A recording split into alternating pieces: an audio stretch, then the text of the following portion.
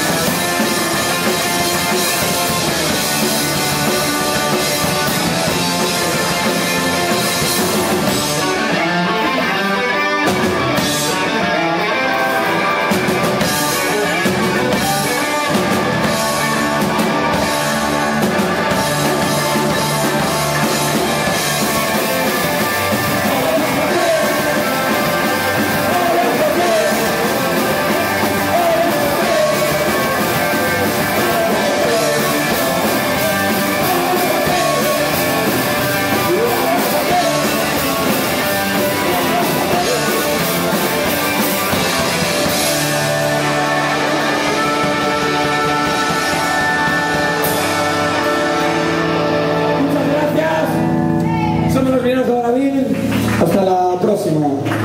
Y rock and roll.